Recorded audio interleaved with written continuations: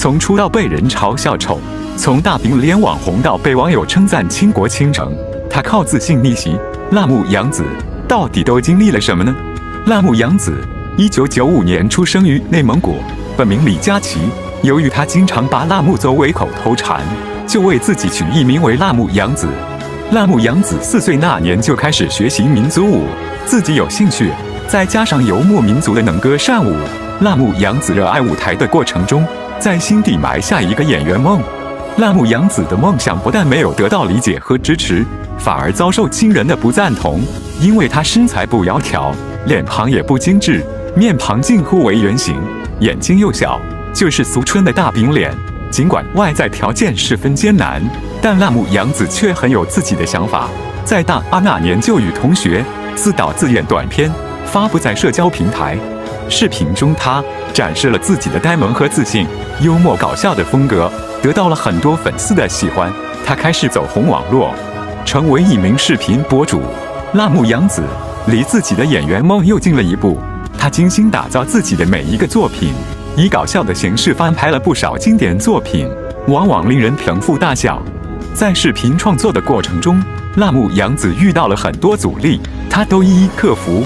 由于非科班出身，她的表演有很浓厚的生活气息，却更让人沉浸其中。走红后的辣目洋子终于到达了自己的梦想，但随之而来的是无数的谩骂，更多的网友带着意去诋毁这个勤奋的姑娘。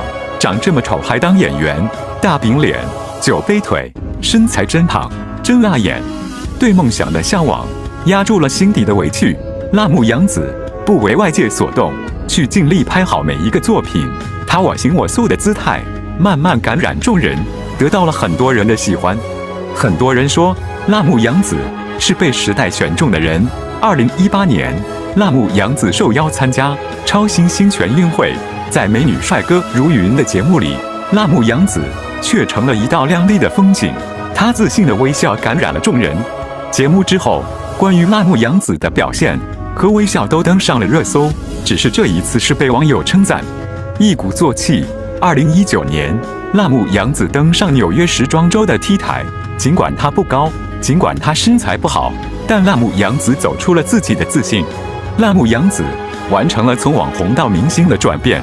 近年，他又登上综艺《演员请就位》第二季的舞台，他的表演浑然天成，征服了包括评委在内的所有人。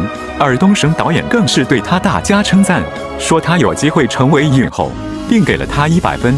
有喜欢明星故事的，点一下关注，下期更精彩。